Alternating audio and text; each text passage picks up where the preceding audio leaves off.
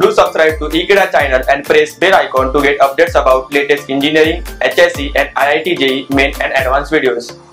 Hello students, today we are studying chapter circulation and in that we are studying topic hypertension. Now hypertension also means high BP or high blood pressure. Let's study about it today. Hypertension. Now if I say about hypertension, hypertension also means high blood pressure or high BP.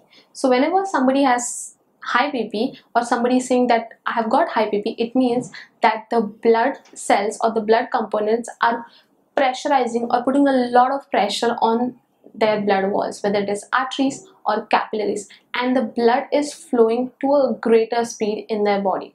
Once that happens, there is a lot of dizziness, fatigue, convulsions happening.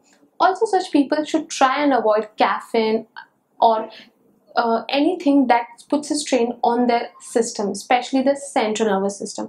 Tobacco, smoking, nicotine, all should be cut off from people who suffer from high blood pressure.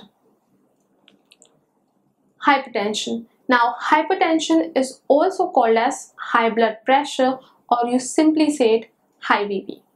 Now, it is a condition which forces the blood against the wall of arteries and once that happens, it leads to detrimental conditions, fatigue, dizziness, loss of conscious, a few of them. Now, it usually do not have more symptoms. The symptoms are very, very limited, but if it left untreated, it can cause stroke or simply you say myocardial infarction.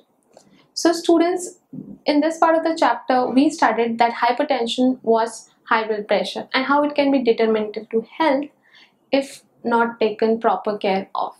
I have students, we all here are very clear with this concept. Thank you.